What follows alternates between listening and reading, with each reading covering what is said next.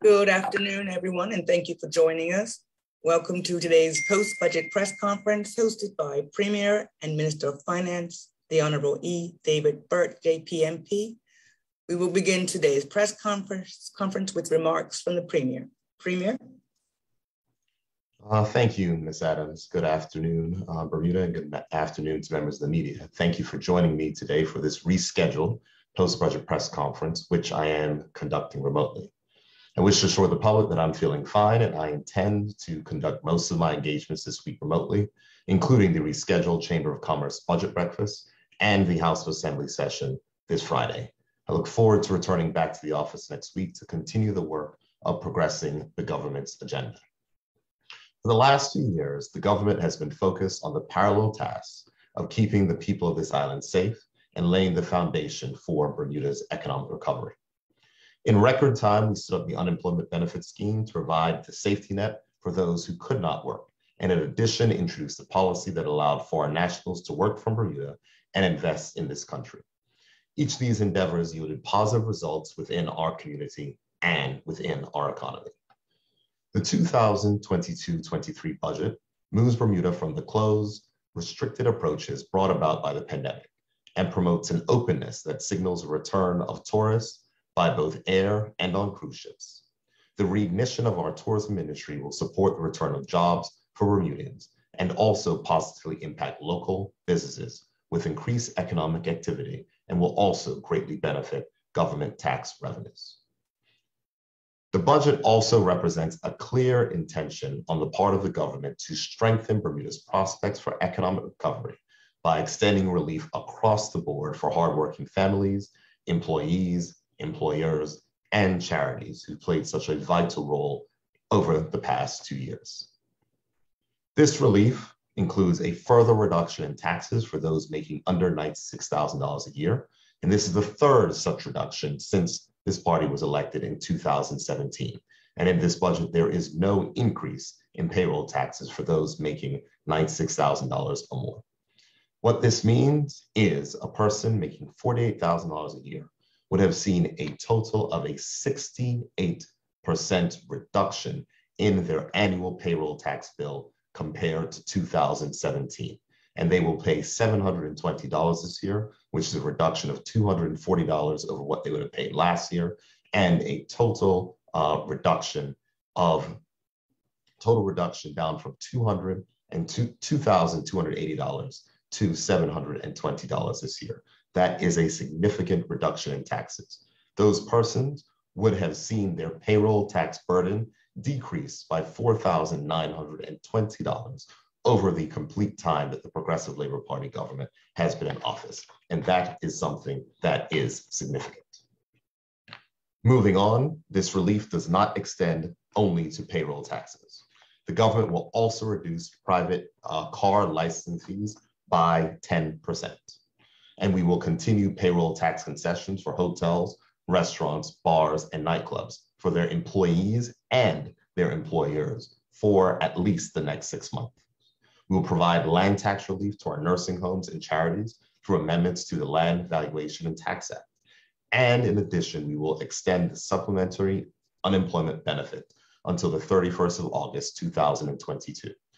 And there will be a further extension of the voluntary pension withdrawal for a further year so that individuals who may need to withdraw an additional $6,000 may be able to do that during this year. This relief highlights our commitment to reducing the tax burden on Bermudian families and businesses as we continue our economic recovery. The government has been able to provide this relief because we maintain disciplined public sector spending and due to the fact that our revenues are $31 million higher than we expected during this current fiscal year. And that means that our revenues that we're expecting are $31 million higher than we predicted at the beginning of this fiscal year. And as we continued our discipline practices, we will also look at ways in which we can continue to support Bermudians across the board. One of the concepts of which I raised the budget statement, as I said that there's relief now, but there will be more relief later. And if our budget picture continues to improve, we will return 50% of the excess revenue to taxpayers in the form of reducing our duty on fuel. And this is important because it will impact energy prices. Fuel duty was raised by the former government by 110% during their time in office. And we are not going to wait until the next budget cycle to start providing some relief in this space.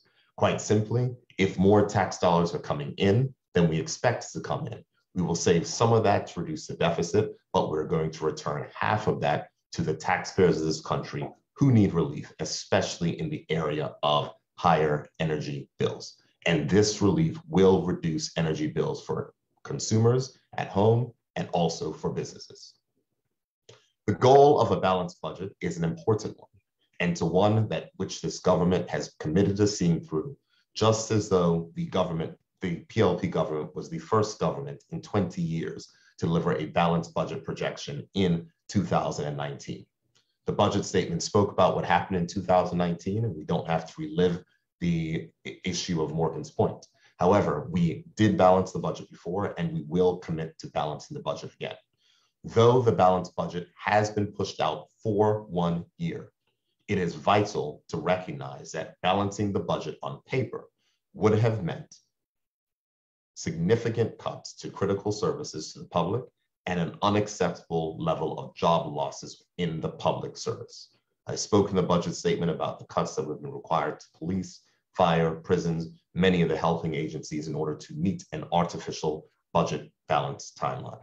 We have extended the budget balance timeline out a year, but the important thing to note is that the government remains ahead of its debt projections due to strong revenue growth and disciplined spending constraints. And this means that our debt that we forecast to accumulate last year is the exact same as the debt that we expect to accumulate going forward. So there has not been any increase to our debt projection, and we believe that we can extend the balanced budget out by one year to make sure that we have a smoother uh, trajectory to return to a balanced budget without significant disruptions to private service, public services, and to ensure that we can support economic recovery by investing in the things that will bring future growth to this economy. Our disciplined spending and human-centered approach to economic recovery means that relief for the people we serve is provided where it can help. Behind the numbers within this 22-23 budget are real people, and the impact of the slightest reduction in the tax burden is something that we recognize, something that we're committed to doing, and something that we will continue to do. Families are budgeting down to the last dollar, and it is the government's responsibility to always have an eye to what will positively impact working Bermudians households.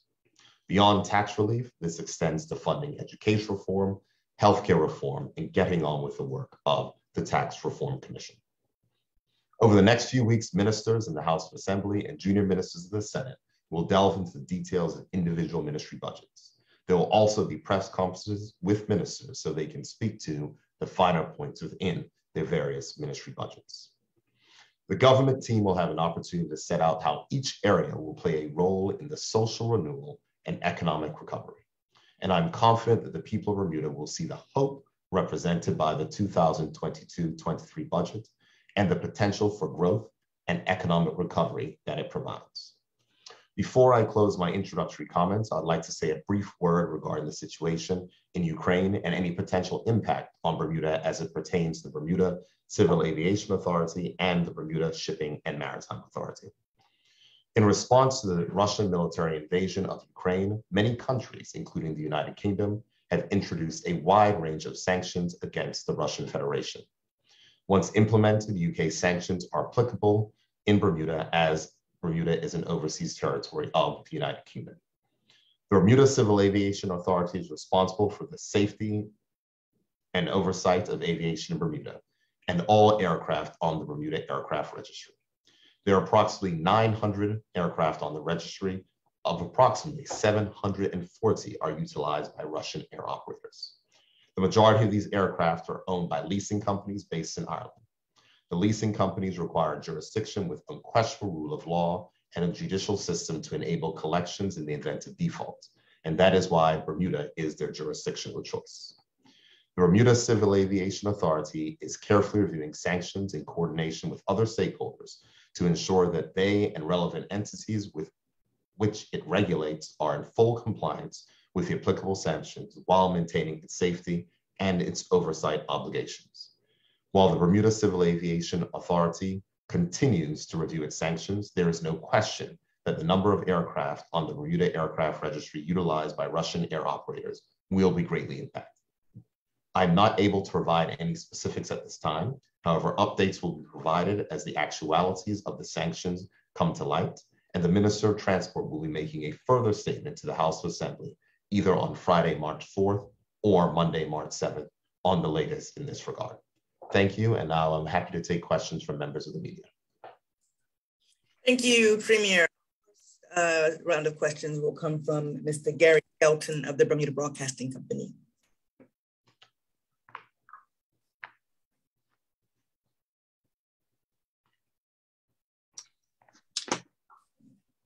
Good afternoon. Afternoon, Garrett. Just start my video. There we are. Thank you. Thank you, Mr. Premier, and good afternoon. Now, first of all, for, former Finance Minister Curtis Dickinson said in November that he wanted to meet targets at this budget ahead of refinancing almost a third of our $3 billion debt this year and next. Chamber of Commerce President Nathan Kowalski says we need to maintain credibility in our ability to balance the budget. The bu- this budget isn't meeting those targets 7 million lower on this year's deficit estimate but 30 million more for the following two years and balancing the budget delayed another year all this has the potential to impact our credit rating and our ability to negotiate on the refinancing of our debt. Why are you delaying steps to directly reduce the national debt? Uh, thank you, Gary. Uh, let me start by saying that yes, it is important to make sure that budget targets are met. And so if we look at what we have been able to achieve, this year we have met the budget target of $125 million in deficit, whereas it is coming in lower, as you mentioned, at 117 million. I think it's also important to note that last year we exceeded the target that was set. It was originally set at $245 million in deficit, and it came out at 185 million. So that is $68 million below the level of deficit spending that we expected to be. Now, as the fiscal responsibility panel said, and others would have recognized that the budget this year did contain a number of one-time measures. Those one-time measures were not carried over. And so in order to meet the spending target that was originally set at $896 million, it would have resulted in serious uh, cuts to the public service and also support that was given during this period in time. That was thought as something that was not able to be achieved in this particular year. And so I want to make sure that we look at the fact that we've hit these targets, but I think it's also important to take into account of the full window. Last year, we said that we would incur, and it's stated inside of the budget statement, uh, that we would incur $410 million of deficit spending before we made it to a balanced budget. And this year's budget projects that we will, uh, we will have $405 million in deficit spending. So it is actually less than what we predicted next last year.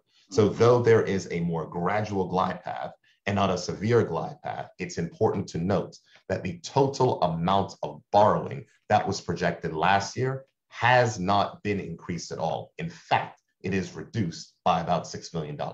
And so it's important from the economy's perspective that if we do have additional revenue, recognizing that reduced taxes in the economy does provide support for economic activity that would return some of that money to taxpayers. And that is what we've done. So I do accept that the balanced budget target being pushed out for a year is a measure for concern. But in our presentation to ratings agencies and in our presentations to the markets when we go to refinance our debt, we can speak to the fact that the total targets of debt accumulation have been beat. We are not falling behind there, and we're able to show where that money is coming from and to show where our where, where our deficit targets remain uh, the same. Okay, Mr. Premier. To note, you did say that it came in the 2020 uh, uh, amount did come in far lower than expected, but even though we did better than worst scenario estimates, uh, 2020 was still 164 million bigger deficit than was predicted to be pre-pandemic. Um, few will be taking into account figures for 2020 globally. Is, wouldn't that be the case? Is it true the international community will be looking at how we are managing recovery now? Absolutely. I think that the bond, uh, the ratings agencies, and also our investors will be looking at how we are able to manage the recovery. And the fact that our revenues are $31 million higher this year than they were last year, the fact that we've been able to, by and large, keep a handle on spending. We haven't seen any increase the size of the public service, despite the fact that we've had to take on a number of temporary employees to, uh, to maintain uh, the coronavirus pandemic response all those are things which are looked at the picture. But I think the most important thing to recognize is that the government is not anticipating the targets which were laid out in the economic recovery plan, which were published in the House of Assembly, the targets which were laid out in the last budget, and the targets which are set at this budget. We have not exceeded the amount of total deficit spending that we expected to have after the pandemic.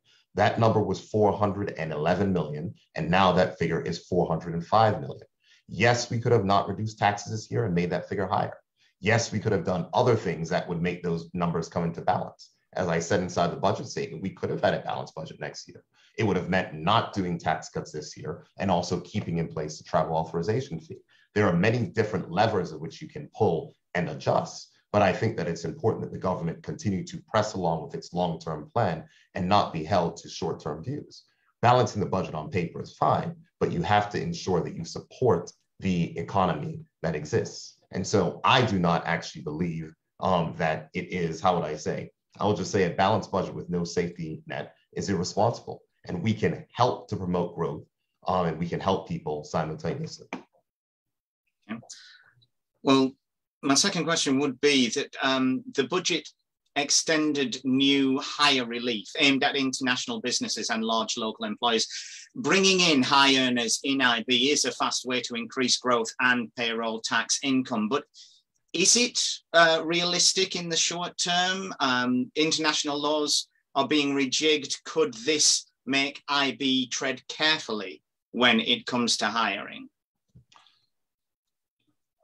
International business uh, wants to make sure they have a stable jurisdiction from where to operate. And the record of the Progressive Labor Party government is supporting that stable uh, jurisdiction in which to operate. As we've seen, international business has increased the amounts of persons that are working in Bermuda over the last two years. It's been about a 10% increase. So during the pandemic, where we've seen a lot of a decline in certain sectors, the budget statement makes it clear that over the last two years, there's been a 10% increase in the amount of jobs in international business. And I think what's important to note is that last year, uh, the amounts of new jobs that were created, there were more uh, new posts created for uh, persons with Bermuda status than there were created for guest workers. So we are making strides in that regard. Yes, the international tax agreement does in some way, shape, or form provide a, um, a headwind or level of uncertainty. But from the Bermuda perspective, we've always been able to navigate these tax changes. We will recall when I was Minister of Finance in 2017, there was the view and fear of the US tax changes at that time and the impact that it will have on Bermuda. We've gotten past that impact. Then there was economic substance, the impact that that would have in Bermuda. We've gotten through that because Bermuda's calling card is our stable uh, political environment, our certainty of policy making, and I think it's also key to note, and this is one that's critical, is the Bermuda Monetary Authority and their international standing. And so, as we've seen the expansion that has happened in whether it's the digital asset space, the expansion that has happened in this space when it comes to international business insurance, especially our long term insurers, we're going to continue down that path. It's important also to note that the new higher relief was brought in under the Progressive Labor Party government in 2018 in our first budget statement. And it is now being extended because we've seen that it's been successful. And what we want to do is we want to increase the amount of persons that are living and working Bermuda. That has been our position since 2018, and that is continuing. So we do not believe that that new higher relief um, is something other than you know what we've set out in the past and extending it. We do not believe is in any way, shape, or form a negative. We think that's certainly a positive to the international business community. Finally, we were told to expect a hard budget, but it turned out softer than many expected. With a parliamentary majority of 30 to 6, you can make bold moves, even unpopular ones. So, why no new taxes? They, I do not believe that the people of this country need an increased tax burden at this time. Um, I certainly don't believe so. I think that our tax, our system of taxation, um, inevitably falls on the workers of this country. We have committed, and in our election manifestos and what we spoke about, we were in opposition when I was shadow minister of finance in reducing the burden on workers. And we have demonstrated that we have reduced the burden on workers. If you are trying to uh, stimulate an economic recovery, the last thing that you do is to raise taxes. Yes, it is a tough budget, Gary. And I say it's a tough budget in the perspective that all ministers have had to go through a very difficult process of reconciling spending priorities. And there are going to be some discontinued programs and reductions in grants in order to meet the strict budget targets, which were set out by the Ministry of Finance. And so from that perspective, you know, there are some difficult choices made. I mean, in the perspective of tourism, there's been some reductions um, in the grants to the tourism authority. There's been reductions in certain grants that are going in certain places. I mean, these are the difficult things that have had to be made clear. But I think that what you do not want to do is to increase taxes when the economy is weak. And what we have committed to doing is to provide further um, relief. Yes, it is a difficult budget because we have difficult things to contend with. We have the difficult things to contend with with our demographic challenges, and we have the difficult matters to contend with it, getting ourselves a balanced budget, holding the line on spending, making sure that we make the economy more efficient, and also uh, dealing with our long-term issues with the unfunded uh, liabilities in our pension funds. So there are difficult choices that must be faced by the Bermudian public. But I think that it's important to recognize that ministers have had to have a very difficult time over the past four months, paring down their priorities, making sure that we look at what things may need to be stopped and things which may need to be continued in order to meet this budget. Because there were a number of one time measures which expired this year. And so there's been a significant challenge in making sure that the government's priorities can be funded in this particular budget. And ministers will certainly outline those matters as we go forward. Thank you, Mr. Gary. Mm-hmm. Thank you, Thank Gary. you. And Gary, as you know, if there's more time, we'll certainly come back around. So I look forward. Good. I hope to return. Thanks. Thanks. Uh, Premier, the next set of questions will come from Mr. Sean Connolly of the Royal Gazette.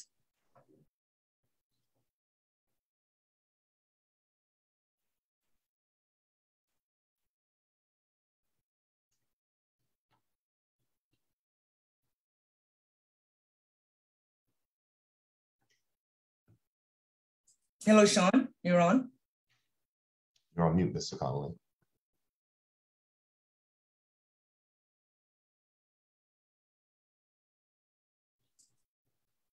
Mr. Connolly, you're on mute.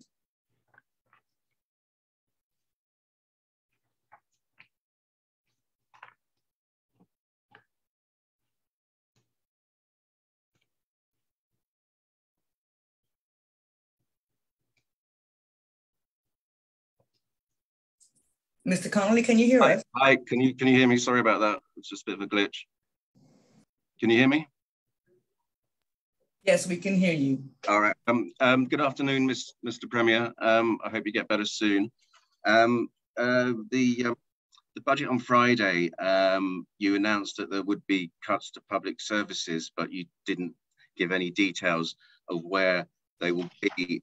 Um, sorry, um, people people are very concerned about that. Um, they've been left in limbo since since Friday. Um, I know you said that you'll leave it to your ministers to announce them, but people are worried about um, the situation. Uh, obviously, your finance minister, you know where the axe is going to fall.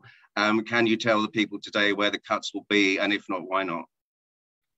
Um, thank you. Um, I will try to find inside of uh, the statement of where I spoke to the difficulties um, in uh, the uh, budget. Um, and I don't want it to be seen when we spoke about a warning for cuts. I know, understand that was the headline of uh, what was given um, in the daily. Uh, but there are some difficult choices that have to be made in order to meet our spending targets. Um, I've outlined some of the reductions in grants that will happen um, specifically under departments of which I had responsibility, have responsibility for, and uh, had responsibility for as well. But what I would say is that the priorities of this government are funded. So education reform is funded inside this budget. Healthcare reform is funded inside of uh, this budget. Uh, the security services are funded inside of this budget. So the priorities for the government are uh, funded, but there are going to have to be some reductions and some discontinuations of various programs in order to meet these funding targets which have been put in place. And I will let the minister speak to that, but I do not believe that what you're going to see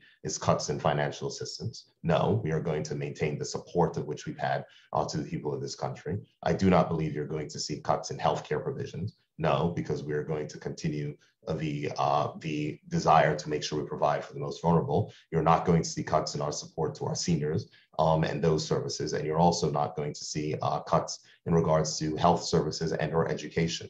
So there are difficult choices that were made in this budget from various ministers, but in regards to across the board cuts or severe austerity, that is not something in which you'll find in this budget. It is a difficult spending line that ministers have to hold, especially given that the one year um, increases came out of the budget last year. So those freezes, et cetera, carried on. So the persons who are working, we had to absorb those uplifts, uplifts into our budgets. So that has been a very difficult uh, task for all ministers to make sure they achieve.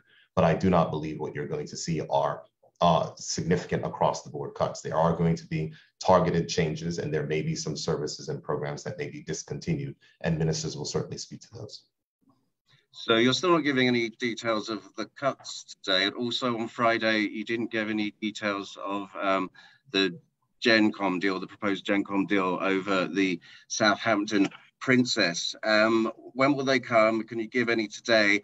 And was part of your disagreement with Curtis Dickinson, who resigned just a few days before the budget, over the um, over the uh, the statement of financial position, the FSF SFP on that deal?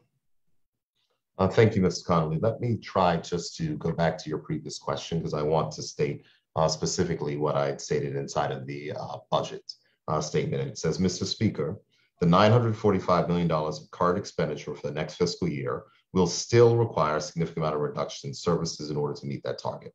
Cabinet ministers will detail these measures during the Committee of Supply. The reductions can be seen across the board where grants have been reduced in certain areas, services will have to be limited and hiring will be frozen.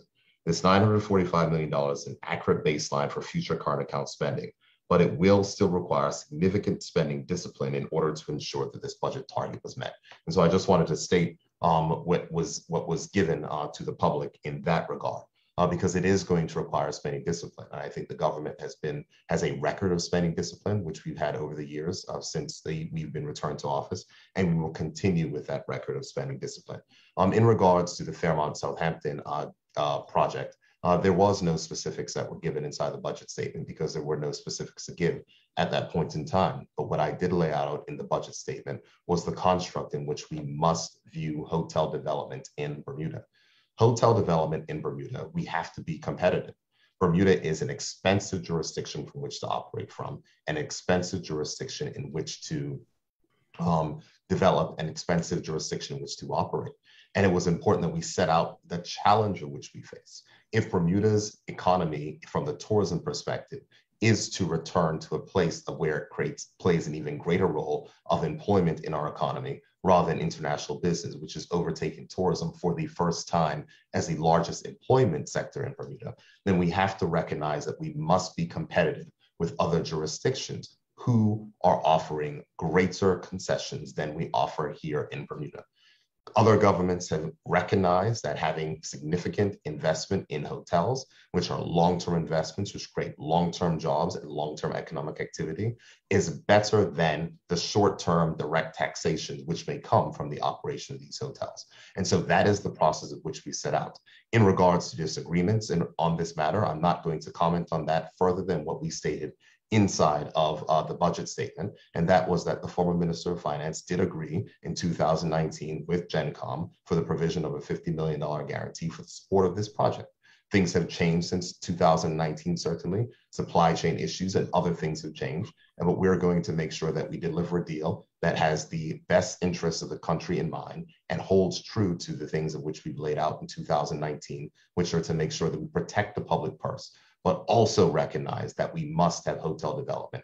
And the largest private employer in the country and the largest hotel in the country needs to be supported in order to make sure that it can be reopened.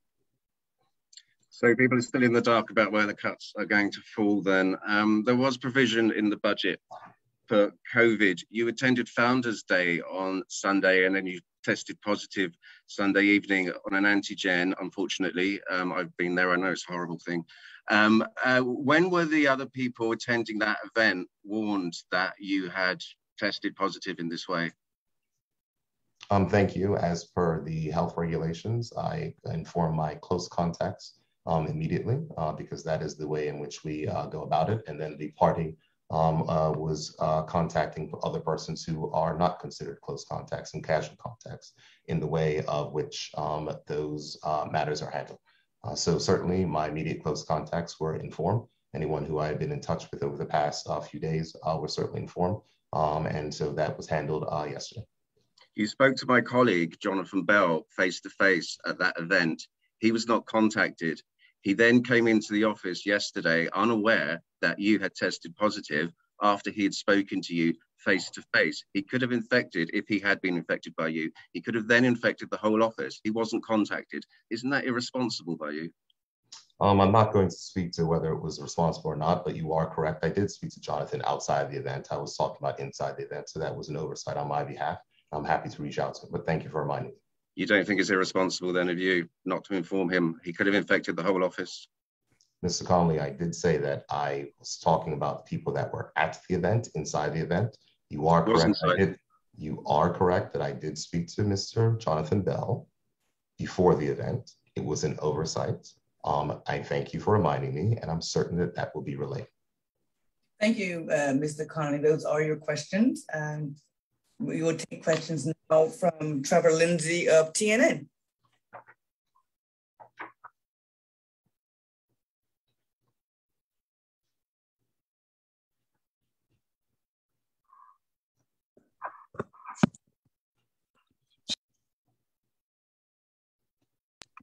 Good day. Hello, Trevor. We can hear you. Yeah. Okay. Yes. Thank you. Thank you for the invite. Um, my first question, I'm glad Mr. Connolly touched on the Founders Day. On the Founders Day, I, I totally understand.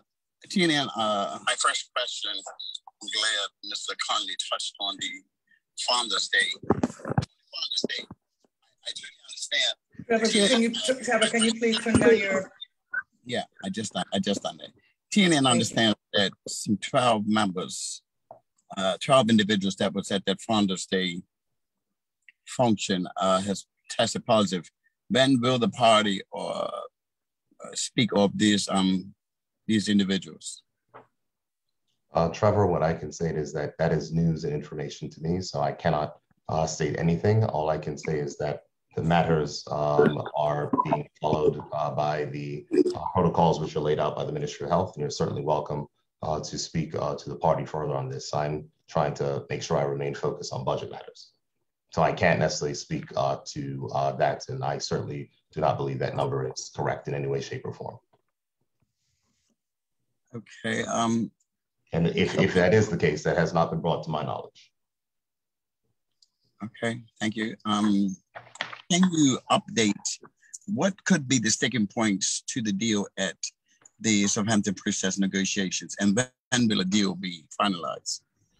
Well, Trevor, I uh, spent uh, sat Sunday morning at 9 a.m. I had a meeting on Fairmont Southampton. Uh, yesterday, uh, there were three meetings on the Fairmont Southampton project. Uh, what we are continuing to work through are the contours of this deal to ensure that the interests of the government of Bermuda on behalf of the people of Bermuda are protected while making sure that we get a hotel development up and running uh, that will provide significant employment in construction and long-term employment um, after the hotel property opens. I'm not necessarily going to go into sticking points. Um, I don't think that it is helpful to go into the details of what may or may not happen. Uh, the government, uh, there are further calls scheduled uh, later today. Lawyers have been working around the clock uh, for the last two weeks and trying to make sure that various matters are ironed out. There's also conversation with overseas lenders between the government of Bermuda, in addition to local lenders. But the project as it is constructed right now is seeing uh, $220 million of overseas funding uh, being put into uh, the, uh, the development, which is something significant because hotel projects to date have only seen local funding from uh, local banks. $222 million of overseas funding uh, from a debt perspective, um, about $100 million of equity, which is being contributed by the uh, team, and $75 million of local uh, debt that is being provided to the deal. It's a significant deal. We're talking about the total uh, capitalization price of this deal is right now budgeted at $376.2 million. It is a significant deal. And so to make sure a significant deal works, we're going to dot all the I's and cross all the T's. Um, we're working to get it done, and it is my hope that we will be able to announce it as soon as possible. But I'm not going to handicap that or give specific regards. If we're talking about the sticking points, it's making sure that the government of Bermuda is protected so that in any case and instance, we do not end up like the situation that the former government put us in place in, which was at Morgan's Point, where we are guaranteeing the entirety of the portion of that debt. There is nothing uh, that will be any similar way in that but whatever portion that we are uh, providing guarantee for, we need to make sure that there are the requisite provisions in place for the governor of Bermuda to be protected.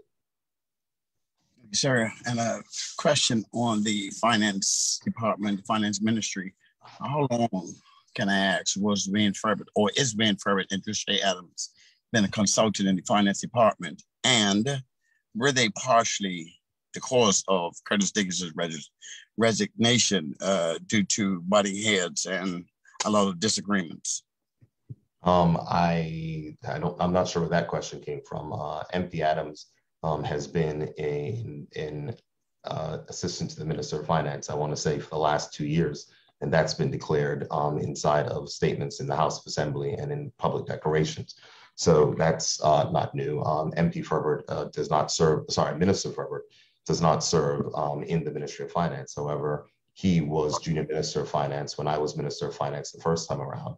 And I asked for Minister Furbert to come and assist me in getting the budget finalized, the budget statement finalized, and the things for the budget finalized um, uh, when I took over the role uh, week before last. So um, I, am not entirely certain as to the uh, basis of the questions. Um, I would say that MP Adams uh, certainly has done a significant amount of work, and I'm grateful for his efforts. And I'm grateful for the help that MP Furbert, oh, sorry, Minister Furbert was able to lend at the uh, last minute um, as we got this budget statement done in record time uh, to make sure that we can make a full presentation uh, to the country, uh, complete with graphs and charts to, to visualize what it was that the country was currently going through and experiencing.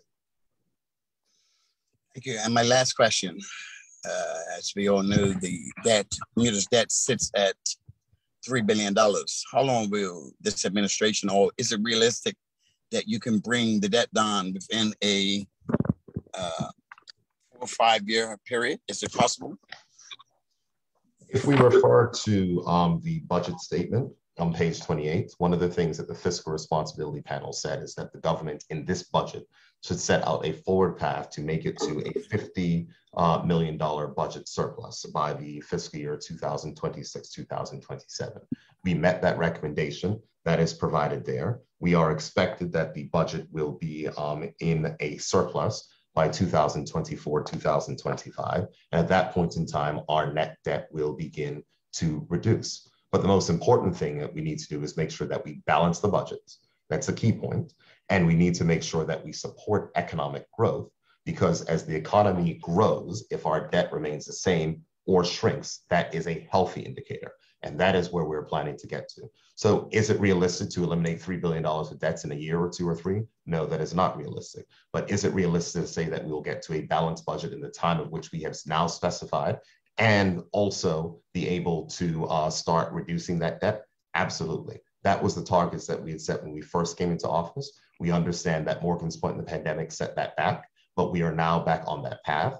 Our revenues are strong, as we've seen. There are areas of growth inside of our business uh, communities, such as international business, the redevelopment of Fairmont Southampton, and additional hotel projects will certainly see hotel and tourism employment begin to increase again, and we can reverse some of these trends. So we are confident that we'll be able to meet the long-term projections of which have been set out in page 28 of the budget and see us returning to a surplus in the budget year of 2024-25 and making it to a $50 million uh, budget surplus by 2026-27. Thank, you, Mr. Lindsay. Thank you, Hopefully there's more time to come back around. Thanks. Um, Premier will now take questions from Maya Palacio of Media Maya.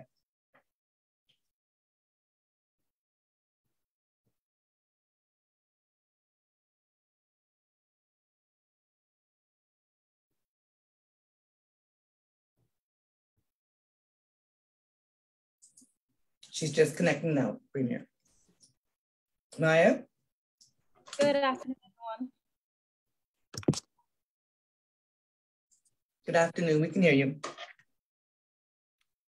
Like everyone, I wish the Premier a swift recovery, as well as anyone on the island who is currently with COVID at the moment. I wish everyone a swift recovery. My first question to you, Premier. Now, as the Premier, you have a role as being the person who tells us what we can try to make happen, more like the yes politician almost on the island, if I may say. But as the Minister of Finance, that's more of a no position where you kind of have to be firm on things that we can and cannot accomplish and what deficits that we have to make and cuts we have to make. Now, as a fellow colleague in here, journalism just stated from the Gazette, um, Sean, I believe it was, he mentioned that you weren't necessarily telling us exactly what cuts were being made, and you were leaving it to the ministers to speak to that fully. Now, can you give some perspective as to how, you know, being the premier and also the minister of finance, how those two um, positions might actually clash in you being kind of straightforward and just telling us exactly what the cuts are because you're leaving it to the ministry or the ministers? Uh, thank you. Um, and Maya, I think that gives an opportunity for me to explain how the budget process actually works. So the former Minister of Finance started this year and reintroduced a full zero-based budgeting process where all ministries and all ministers are responsible for putting together their budgets. Those budget submissions then go to the Ministry of Finance, and the Minister of Finance reviews those matters with myself as the Premier, the leader of the cabinet, to identify what budget priorities need to be funded and if there's extra and excess money from the zero-based budgeting process, where do those uh, monies go? And to set out the overall perspective. I don't actually believe that there is a great conflict between uh, the premier and minister of finance. There are many Caribbean countries where the premier is the minister of finance as well. Barbados is one uh, particular example where Mia Mottley serves both places, Turks and Caicos and others. This is not an unusual construct. And from the perspective where we are working, there allows that synergy to ensure that the priorities of the government of Bermuda are certainly executed. I, I served as Premier Minister of Finance uh, um, in 2017. I was happy to relinquish the role of Minister of Finance uh, to Curtis Dickinson, and I'm more than willing to uh, bring this back up again uh, now that uh, the uh, former Minister of Finance is elected to sit on the back bench. But the budget process is done via various ministers, and that is the way that the budget process has always been done. The Minister of Finance does not sit there and go through each and every single budget. It is a responsibility of ministers to put together their budgets and where there are conflicts, where there is a question of, okay, we can either fund this or this, which are the ones of which we're going to fund. That is where the debate comes between uh, the premier and uh, various ministers of government. And we did see some of those debates, making sure that we arrive at these particular spending targets. But we recognize that there were some areas that needed additional funding such as the Ministry of Finance, in dealing with the um, challenges on the international sphere, and, uh, and, and such as the Ministry of Health, of course, absorb, absorbing all of the coronavirus budgets into uh, their uh, particular ministry. So I don't view it as a conflict per se. Um, I think that it works well in certain countries. But I think what is important to note is that the Minister of Finance, the former Minister of Finance, was very good when it came to spending discipline. And in my time as Minister of Finance, I've already let my ministers know that that spending discipline cannot disappear. The reason that spending discipline cannot disappear is that we have said that we are going to return any additional surpluses to the people this year in the form of reductions in energy duty, which will reduce the cost of electricity. And if we are, we are not holding uh, uh, firm on our spending numbers, and if we then say, oh, we can afford to spend more because our revenues are up, that means that we return less money to the people of this country. So the spending discipline will continue. And I intend to um, make sure that the government continues to meet its budget targets and continues to stay ahead of its debt trajectory, as that's essential to refinance our debt and move forward. So to answer your question, I do not believe that there is a big conflict, and it's important that we understand how the budget process is done. It is done at a ministry by ministry level and fed into the Ministry of Finance, who is responsible for compiling the overall budget. Thank you very much for that answer. Um, my next question for you, coming from the younger generation on the island, uh, you did note in the budget that you, you will be furthering the pension removal for another year. And a lot of conversations, if you've tapped into any of the burn memes, tweets, and conversations with um, Bermuda Youth Connect, um, a lot of the general conversation was about why young people should even come back home after graduating. What's the purpose if, like, obviously our pension is depleting and things are getting a little worrisome for our generation, whether or not there even is going to be one. If we keep raising the age where you can retire, we'll be working till probably till like 75 at this point. So can you give me some like reassuring some examples or even reasons as to why the young people should actually come back to assist and work on this island when we're already losing so many jobs already and there's like people depleting in the job opportunities here on the island? Well, let me answer that question in two ways. Number one, uh, Maya, I was a young person uh, once, um, and I don't know when I uh, faced the decision and choice of whether to move back to the island in 2003. Um, I made the decision based upon my personal circumstances, and I made the choice to return uh, back uh, to Bermuda. It's a personal choice for many. Some people return right after school. Other people decide to get experience and return um, at another point in time. But one of the things I will say is that from a job perspective, we have seen that there is strength in certain job markets. And the challenge in Bermuda is that we still have more jobs than there are Bermudians able to fill those jobs. I can look at my tourism hats and know that the Minister of Labor, working with the Tourism Authority and the Bermuda Hotel Association, did a very large labor fair or job fair in the hotel industry in December. And there were multiple roles that were not able to be filled by residents. And the fact is that we do know that with the progressive policies from the Ministry of Labor in setting out the closed and restricted categories to ensure that Bermudians get back into the workforce, those are bearing fruit. So I do not accept that there are not jobs. The Ministry of Labor has been very keen on protecting uh, the Bermudian workforce. And the fact is that there are still more jobs in Bermuda than there are Bermudians to fill those roles. And we are committed to ensuring that Bermudians are not only able to fill those roles, but have additional training if there is additional training that is required in order to fill those roles. On to the question of which you mentioned about pensions, it is a difficult question. And pensions in Bermuda are no different than pensions around the world. And so in our 2017 election manifesto, we did say that the retirement age will have to increase we did say that we're going to continue to provide uh, increases for pensions for our senior citizens, but we need to make sure that our pensions are sustainable. Our pensions become sustainable in two ways. Number one, you have more people paying into the pension fund, which means that the more people who are taking out of the pension fund is balanced. And that's why economic growth is important. That's why it's important to get the Fairmont Southampton property back up and running and operating and to see a rebound in tourism growth to complement the growth of which we're seeing in international business jobs. But from an overall perspective, we have to do the work, which many other countries have done over the past 15 years in making sure that pensions can be sustainable for the future.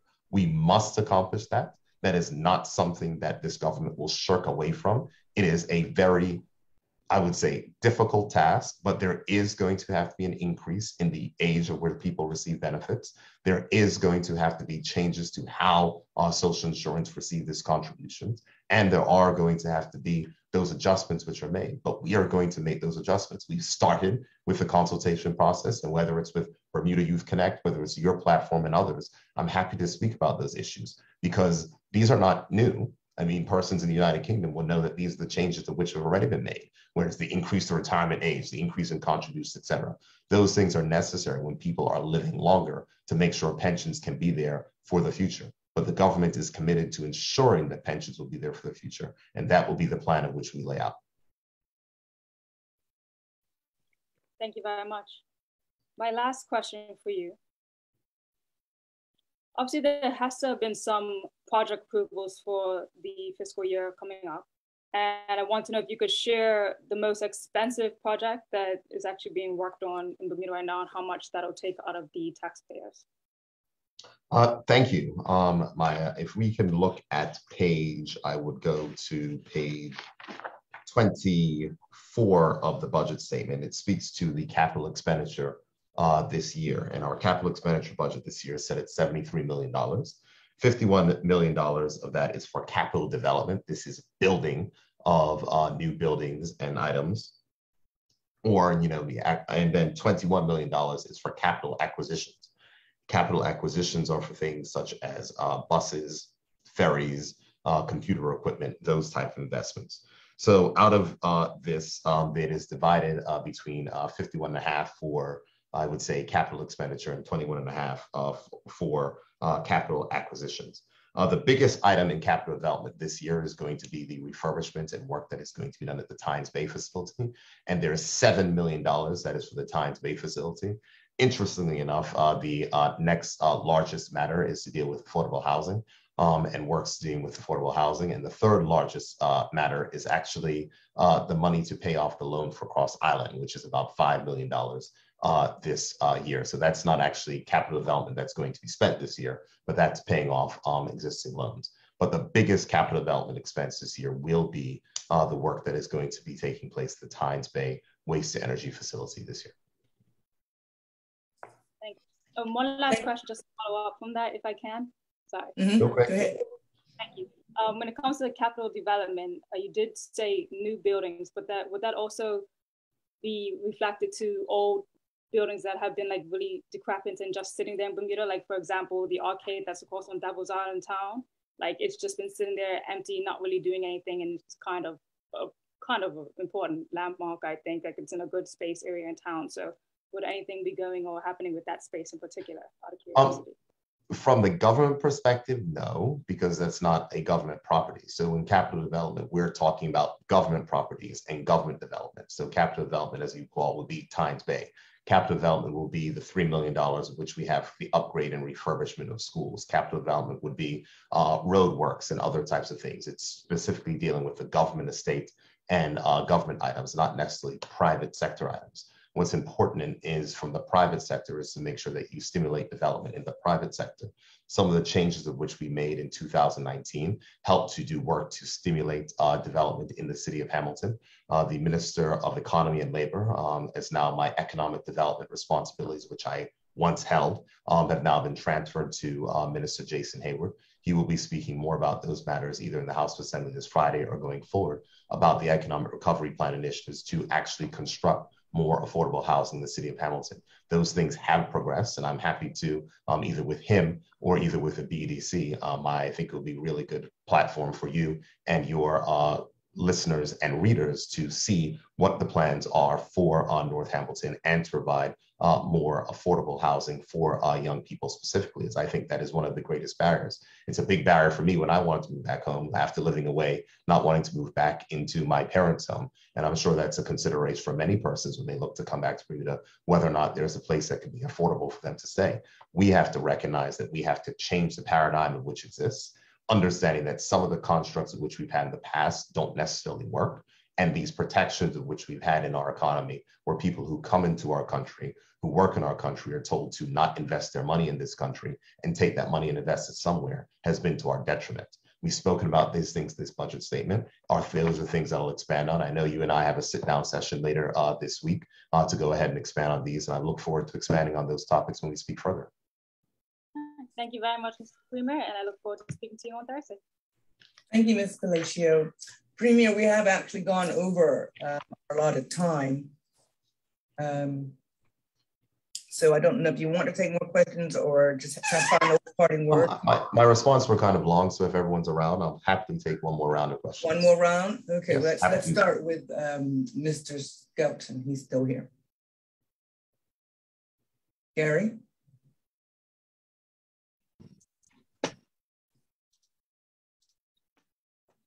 Hello, Gary. We can see you. Thank you. Hello. Good. Thank you. Thank, thank you very much, Mr. Premier. Um, so one more round of questions. Now, a couple of weeks ago, we weren't expecting to have this conversation post budget with you. Um, now, neither you nor Curtis Dickinson have explained the reason why he left cabinet. Do you not think that the public has a right to know the reason? And was the Fairmont Southampton guarantee a pivotal point of contention? I'm, I'm sure that there's a lot of people that are fixated on this point. I think mm-hmm. that it's important to note that, as I stated in the budget statement, uh, that the former Minister of Finance set out the constructs of which a guarantee would be provided to Fairmont Southampton in 2019. So those matters are a matter of public record. So I don't want to get into that. Um, I'm not going to speak as to whether uh, the reasons why. I had a very cordial conversation with the former Minister of Finance, but we continue to remain in touch. And he said that he will be able to assist and lend um, his advice on matters as we move forward. And so I don't the fact is that cabinet ministers leave for a number of reasons. I know how difficult this work is, uh, certainly on persons and for family. Um, and so I'm not going to uh, necessarily comment on that. I'm not entirely certain uh, what uh, benefit that will have. The facts are that the Minister of Finance um, is elected to sit in the backbench. The government has continuity. Uh, the roles are being picked up um, uh, by myself. Um, and certain other ministers will continue to push forward the agenda of the government. Governments were elected to execute their election manifestos. And I hold firm of the view that we must press forward with the promises of which we made uh, to the country. This cabinet will continue to do that, and we're going to push forward the ideals uh, which are stated inside the Ministry of Finance. There's a number of things that are inside the Ministry of Finance's uh, throne speech uh, commitments, which remain undone. And in my time as Minister of Finance, whether it be long or short, I intend to make sure that we advance those things, provide the relief uh, which are necessary. We've been speaking about mortgage relief uh, for a very long time. Those matters need to be brought to conclusion.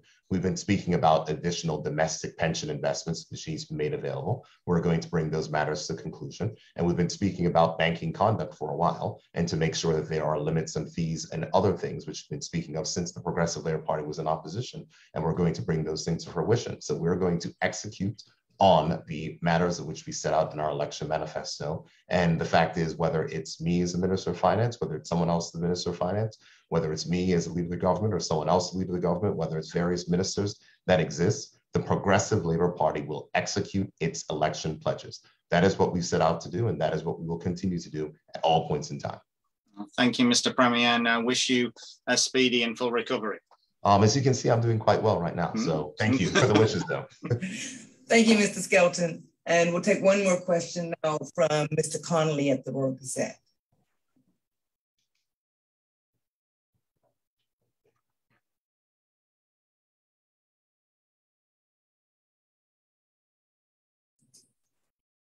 Hello, Mr. Connolly. We can see you, but we can't hear you. You're still on mute.